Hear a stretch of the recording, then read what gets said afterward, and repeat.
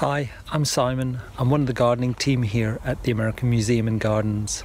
And while we're closed to the public, we're going to share with you some of the lovely stuff we've got around the place. A highlight for me this time of year is the mass flowering of bluebells in the woods around our gardens.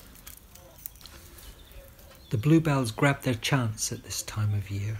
As the sunlight strength increases in spring, they have a short window to flower and set seed before the leaf canopy develops fully. These are common or English bluebells. Their botanic name is Hyacinthoides nonscripta.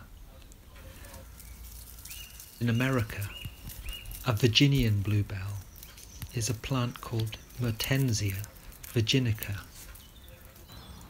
So here we've got an English bluebell or a common bluebell and the way you tell them apart from other bluebells is the uh, colour of the pollen really. Um, if you look inside the flower it's a creamy white colour and other bluebells don't have that. To me, bluebells in the woods take me back to childhood days and memories of family walks in springtime in the woodlands around Balmerino. Shirley is going to read the Bluebell poem from Robert Macfarlane's book, The Lost Words. Blue flowers at the blue hour. Late daylight in a bluebell wood. Under branch, below leaf.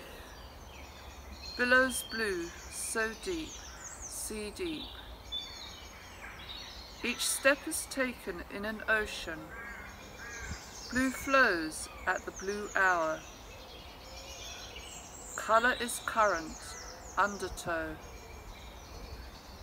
Enter the wood with care, my love, lest you are pulled down by the hue, lost in the depths drowned in the blue.